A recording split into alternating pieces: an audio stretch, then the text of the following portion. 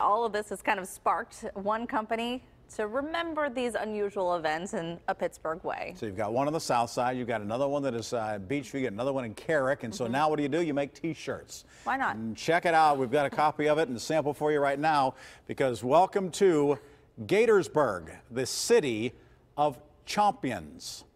Champions is what it says. We get a closer look right there at the actual design itself. Gators, and my favorite part is the little bite mark right down there out of the bottom of the triangle. By the way, these are available to be sold today at Yinzer's in the Strip District starting today.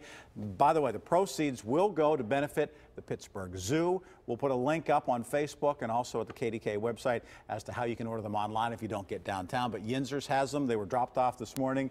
And we got one hot off the presses, designed by a company in Grove City, Pennsylvania. The concern, and I know what they were doing here, is that there are two more alligators on that shirt than Maybe Then it's foreshadowing. Yeah. Perhaps there are others out there somewhere. hopefully not. Swamp